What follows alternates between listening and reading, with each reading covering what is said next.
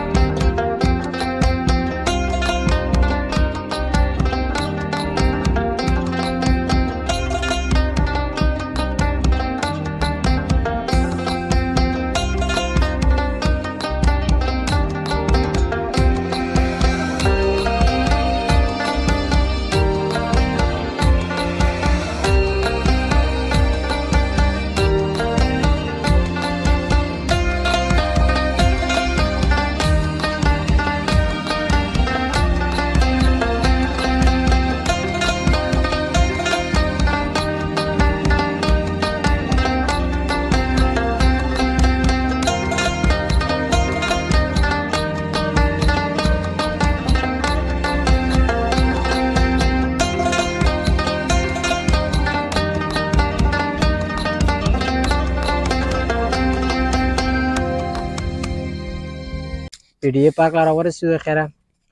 او ما سره مرګري نور بای دی او موږ سره بل نوی مرګری اکرم بای هر کله درته وایي خپل ویلاګ کې او بس انجوایمنټ کوو ډېر ښه ځای دی ماشومان هم بس چې ګرځي را ګرځي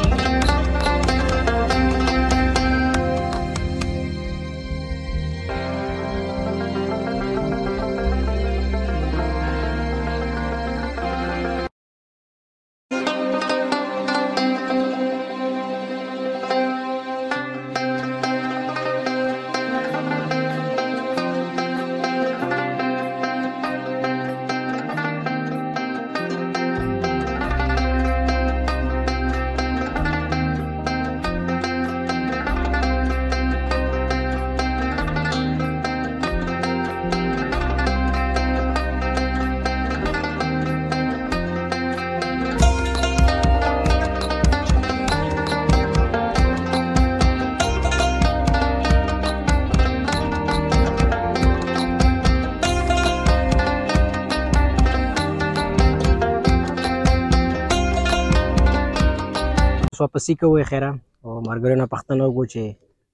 پروګرام څنګه وو کرام بھائی څنګه وو خوندور پروګرام وو خوان یو غړو نور به تب کې څه وی ولا چې خوان یو غړو ډېر زبردست خپل ماحول دی وخت ورځم مو چټي وانه نو بس ډېر کولم چکر ور کوډره مزه یو او بس موږ ویلګ دغه پورې و ان شاء الله چې ژوند وي به تا نه ښه ښه ویلګونه جوړو او موږ له اجازه راکې خدای په امان